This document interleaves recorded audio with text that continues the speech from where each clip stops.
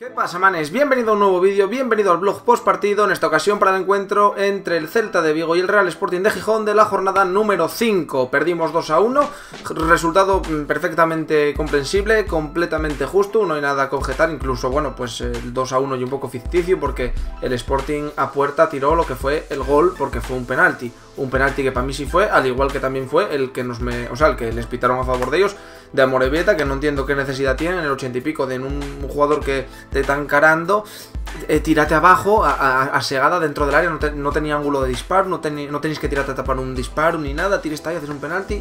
Bueno, no, no pasa nada, supongo que será cosa de los nervios. Vamos a hablar un poco del Sporting, del Celta. Oye, el Celta salió con lo que tenía, salió a jugar, eh, jugó, fue el que llevó el peso, tiraron bastantes veces a puerta. Si no llegase por el Pichu, hubiesen caído unos bastantes más, yo creo. Y el Sporting, bueno, pues salió con una alineación un poco diferente, salió con Lillo de lateral izquierdo, quitó a Isma, que bueno, eh, Isma cuando entró tampoco demostró nada. De hecho, el, el gol, el gol de ellos es que hacen un traje a Isma que flipes, o sea, Isma regatea en Lu como el que como el que me puede regatear a mí, o sea, como que he hecho un poquitín a correr y haga así, ya me regatea, pues lo mismo. Mete el pase y el tío que está dentro del área remata solo, remata el primer palo, el Pichu pues remate ni muy cerca, tiras y tócala incluso, pero el balón va para adentro. Eh, por otra parte la dirección, bueno, metió a Babin con Amorebeta. Yo, ¿qué quieres que te diga? No sé si Mere tendrá algún tipo de problema físico o no, pero que juegue Babin por delante de, de Meré, no, no, no lo entiendo, no lo entiendo. Y un tío que, vale, puedo comprarte que vaya bien por arriba, que ni aún así, porque lo vi que falló bastantes balones divididos de cabeza, pero bastantes, hablo de, no de uno ni dos, ni, ni tres, o sea, hablo de bastantes. Y que, no sé, la cadera, yo para mí, chicos, no sé cómo lo veréis, pero creo que la tiene bastante dura, o sea, que la rompen guay, no lo sé. Lorina en el lateral derecho, volviendo a recuperar sensaciones, nota en su, en su mejor nivel y evidente, nota al 100%, nota como es Ilora mágico que, que, estamos acostumbrados, pero bueno, que de minutos. Por delante del juego Víctor Rodríguez, el doble pivote con Sergio y Xavi Torres, que para mí Sergio estaba desbordadísimo porque tenía que cortar, hacer coberturas y generar juego el solo. Eh, Xavi Torres para mí un cono, sinceramente, estoy viendo la versión 2 de Bustos o Garay, así os lo digo, o sea, cuando me lo decía la gente del Betis que nos llevábamos un forro, no, va, digo, ah, habrá que... No, o sea, y un forro de la hostia. La única imagen que tenía en la cabeza de Xavi Torres era el gol que nos metió aquí en el Molinón, que fue un auténtico golazo, pero es que en el campo no aporta nada. No, no, no, no aporta nada, o sea, no lo veo que aporte nada. No lo veo que aporte nada. En banda izquierda jugó a Fif, que bueno, bastante discreto, sinceramente. Y luego jugamos con dos delanteros, jugamos con Viguera y con Chop. Chop, como siempre, pues reventando arriba, presionando, intentando bajar balones, está solo ahí, tira ni melones, él buscase la vida. Y luego Viguera, que Viguera para mí, no, no, sé, no sé en qué momento si tío se merece ser titular en este equipo. Ya no digo por delante de cualquiera de, de otra posición, sino de delantero por delante de Carlos Castro. O sea, no entiendo por qué juega así, tío. No, no lo entiendo, no lo entiendo. No entiendo ya que juegues con esta formación con un 4-4-2 fuera de casa intentando, en teoría, jugar. Yo creo que con la alineación que saca va a jugar al empate y contra, buscándoles contres, pero si no tienes tienes dos, medios en banda, o sea, Afif y Víctor Rodríguez que están abocados a tener que defender. O sea, ¿con quién sales a la contra? ¿Con la, con la velocidad de Viguera? No lo sé, macho, no lo sé. Sabes que, lleva la batuta en ataque ahora mismo yo Víctor Rodríguez. Y si tienes a Víctor Rodríguez pegado a banda y teniendo que ayudar a Lora, pues qué cojones te va a subir ahí la banda, qué cojones te va a hacer.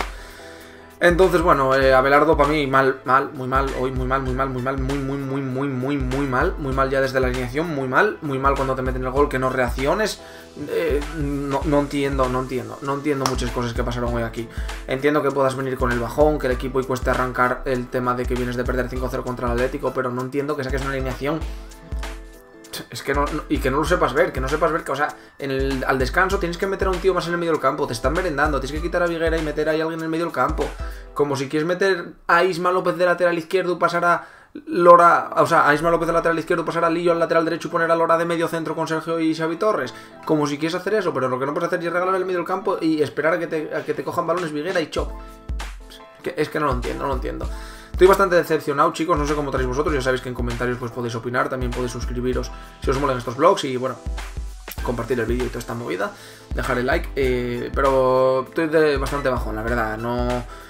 A ver, contra el Atlético, evidentemente sabemos que vamos a perder, tampoco te esperaban perder tan así, tan rápido, tan mal, eh, pero hoy tenía un poquitín de esperanza de decir, joder, vamos a intentar jugar un poco, el Celta hoy no hizo no tuvo que hacer nada para ganarnos. Es que no tuvo que hacer nada. Yo creo que jugaron a un 60% de, esfuerzo, tío. No tuvieron que hacer nada. Solo con Guas y con poco más, eh, los dos extremos ya te también destrozando, tío.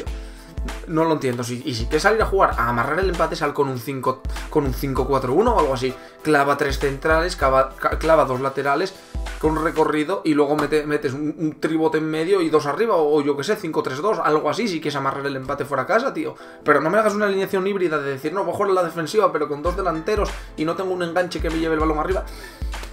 No, no lo entiendo, no entiendo el planteamiento, los, cambios tardaron. Carlos Castro, de hecho, mete a Carlos Castro al final. Carlos Castro, tengo miedo que no haya tocado un balón, creo que no tocó un balón. Pues si me lo podéis confirmar, habrá alguna estadística, pero no creo que haya tocado ningún balón. Un par de balones que lanzaron arriba. Es que eh, les jugué del Sporting era, imaginaros, un saque de puerta, saca el Pichu, juega a banda Lora, Lora juega al medio Sergio, Sergio mira, no ve a nadie, juega de cara a Babín o a Morevieta, y Babín o a Morevieta patadón. Y ala, Viguera y Chop que se buscan la puta vida. Ese fue la elaboración del Sporting de juego en todo el partido. Y, no creo que me equivoque mucho, ¿eh? podréis corregirme, ya sabéis, pero no me estoy equivocando en nada.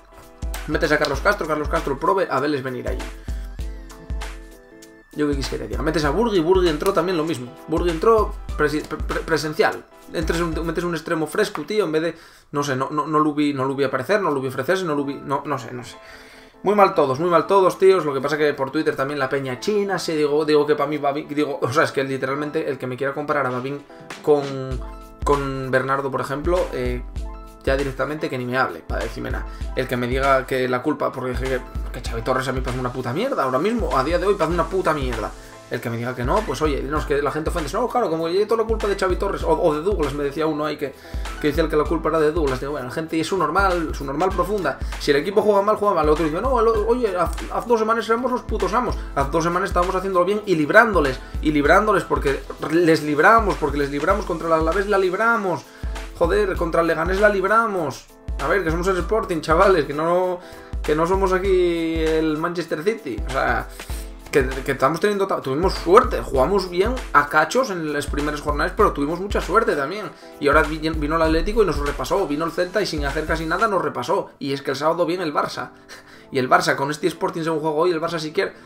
Métete 8, así, un 0-8 y, marcha. El Barça llega y marcha. A ver qué rotaciones hace ahora Belardo. Yo, si soy Abelardo, sinceramente no sé qué haría ahora mismo, porque da igual que rotes, que no rotes, van a. No sé, no sé, no sé con qué alineación saldría.